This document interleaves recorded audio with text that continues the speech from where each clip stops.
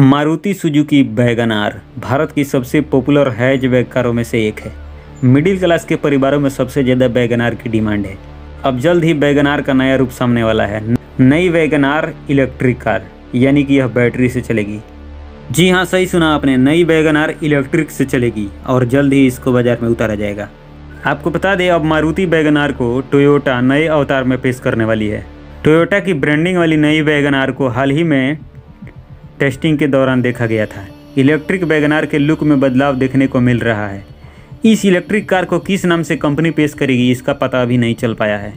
Car के Toyota पर Toyota की ब्रांडिंग देखी गई है। टोयोटा ने कार के एक्सटीरियर में काफ़ी बदलाव किए हैं। इसके फ्रंट को पूरी तरह से बदल दिया गया है, जिसमें एक पतली ग्रिल शामिल है, जो कि नई, जो कि टर्न इंडिकेटर्स के रूप में नज़र आती है। इस नई टोयोटा में फ्रंट और रियर बम्पर को अपडेट किया गया है। आपको बता दें, इस टोयोटा के बैज वाली मारुति वैगनार को कई बार टेस्टिंग किया जा चुका है। इसके फ्रंट और रियर लुक मौजूदा वैगनार से बिल्कुल अलग है। टोयोटा की यह वैगनार पूरी तरह से एक इलेक्ट्रिक कार होने वाली है। साल 2018 में मारुति सुजुकी ने अपने वैगनार हैचबैक के 50 प्रोटोटाइप बनाए थे। कैसा होगा इसका इंजन?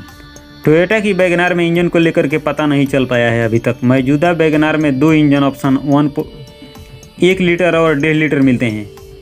और ऐसे में उम्मीद जताई जा रही है कि टोयोटा बैज मॉडल में भी यही सेटअप मिल सकता है। पेट्रोल के अलावा सीएनजी में भी बैगनार उपलब्ध है।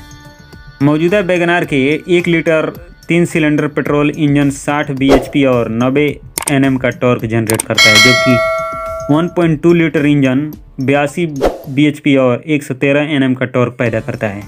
इंजन को पाँच स्पीड मैनुअल के साथ, पाँच स्पीड ए ट्रांसमिशन के साथ जोड़ा गया है। आपको बता दें, मारुति सुजुकी वैगनार पहली बार 18 सितंबर उन्नीस सौ निन्यानवे में लॉन्च की गई थी। तब तब से लेकर अब तक कई बार मारुति की इस कार का लुक बदल चुका है। पिछले 20 सालों से यह डिमांड बनी हुई है। आपको बता दें, इसकी एक्स शोरूम की कीमत साढ़े चार लाख रुपये है। आपको बता दें, इससे पहले टोयोटा मारुति बलेनो को टोयोटा गलेंजा नाम से पेश कर चुकी है। टोयोटा गलेंजा देखने में बोलेनो जैसी है। इसके फ्रंट में two slot three D surround chrome grille दी गई है। कार में डायमंड कट अलाय व्हील है, जिस पर टोयोटा का बैज लगा हुआ है। दोस्तों, यह जानकारी आपको कैसी लगी कमेंट ज़रूर कीजिए और इस जानकारी को ज़्यादा से ज़्यादा लोगों के पास फैलाइए। और ऐसे ही रोचक और मज़ेदार खबर सबसे पहले पाने के लिए सन स्टार हॉटलाइन को सब्सक्राइब ज़रूर कीजिए। मिलते हैं एक और अगले वीडियो में। धन्यवाद।